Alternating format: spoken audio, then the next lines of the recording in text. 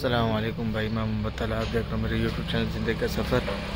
तो भैया आज खैर मैंने ब्लॉग स्टार्ट नहीं किया था और ना ही कोई ब्लॉग बनाने का मौका है। लेकिन मैं ब्लॉग बना रहा हूँ। असल में कज़न का इंतकाल हो रहा मेरे एमरजेंसी में अपनी गाड़ी पे वहाँ से निकलना पड़ा कराची से। और अलहमदिल्ला सफ़र सही हो रहा था, बेहतरीन सफ़र हुआ। लेकिन एक मामला ये पेश है कि जी मोटरवे पे आके मुल्तान से पहले ज़ाहिर पीर का एक इलाका आता है।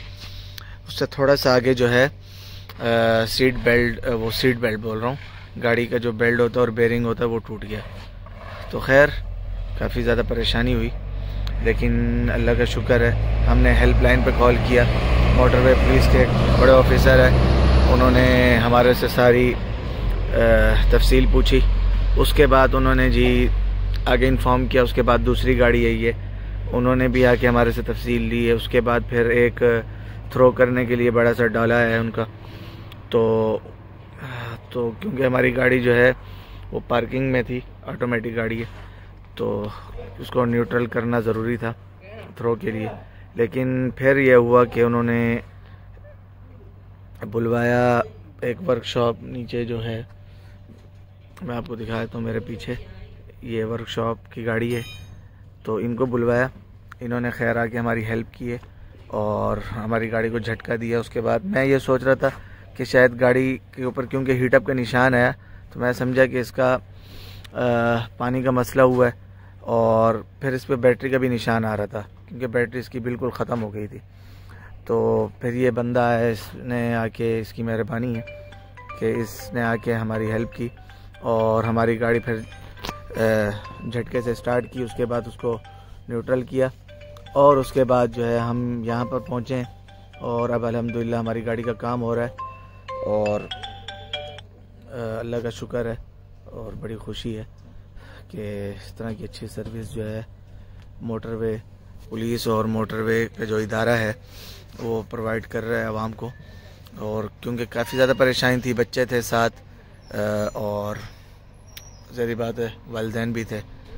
और इतनी सख्त सर्दी है पंजाब में अंदर के। लेकिन मैं एक चीज़ का और भी अल्लाह ताला का शुक्र अदा कर रहा हूँ कि आज जो है, उस तरीके से स्मॉग नहीं थी, जिस तरीके से अमूमन पंजाब में सुनने में आ रहा है। तो हमारा सफ़र बहुत अच्छा हो रहा था।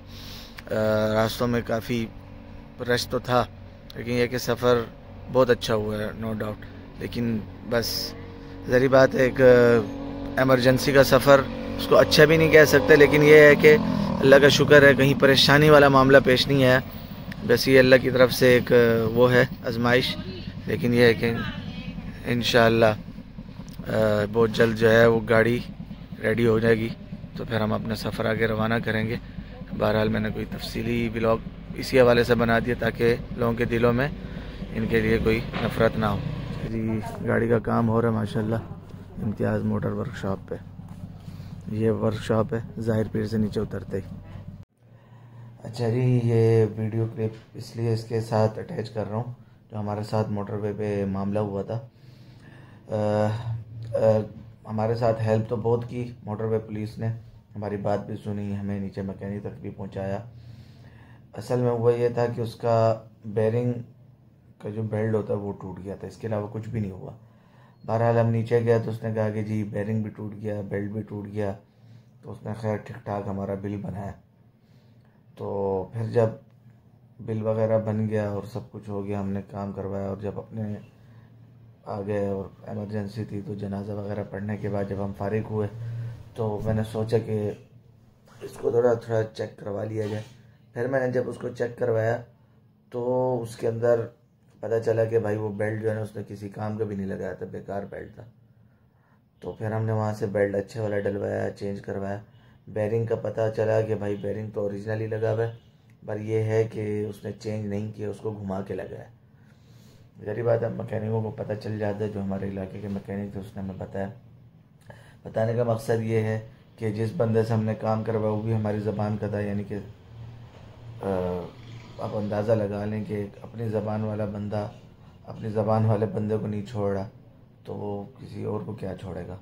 तो खैर, अल्लाह ताला हिदायत दे ऐसे लोगों को कि जो नाजायज़ फ़ायदा उठाते हैं। बहरहाल ये है कि हम खैर वाफिया से आ गए थे तो मोटरवे पुलिस की काफ़ी हेल्प रही है। तो मेरा मशवरा यही है कि जो भी कोई सफ़र कर रहा हो तो थोड़ा सा ऐसे लोगों से होशियारी से काम करें। लेकिन ज़रूरी बात है जब आपकी मजबूरी है तो, तो आपको देना पड़ता है। आप कुछ भी नहीं कर सकते। तो बहरहाल अलहमदिल्ला बाकी काफ़ी बेहतर रहा। और